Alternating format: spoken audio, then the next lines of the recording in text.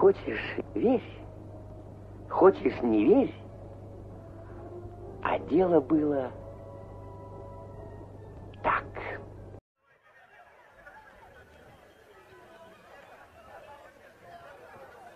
Люди! А, ау! Товарищ!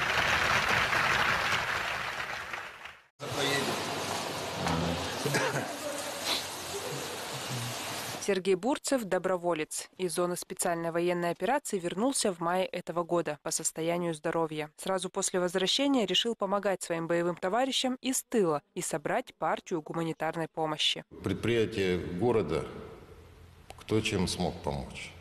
Оказали, оказали помощь в приобретении коптера, приборов ночного видения, автотранспортных средств, приобретение касок, амуниции для бойцов. Сергей признается, гуманитарная помощь необходима на фронте. Когда мы знаем, что за нами стоит тыл, что за нами неравнодушные люди, которые также хотели бы бороться, да где-то кто-то физически не может, но помогает. Нам нужны очень ручки, ручки, ручки. Сколько? Очень много. Даже если они будут приходить на час, на полчаса даже, и то это очень большая помощь для нас будет. Пока в ДК «Юность» работают четыре женщины. Они пенсионерки. С понедельника по пятницу с 12 до 15 часов и с 17 до 8 часов вечера они плетут маскировочные сети. Всех людей в этой организации объединяет одно – огромное желание помочь нашим бойцам.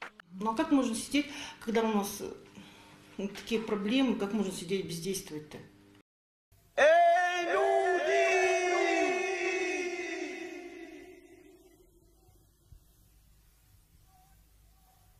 Кто-нибудь!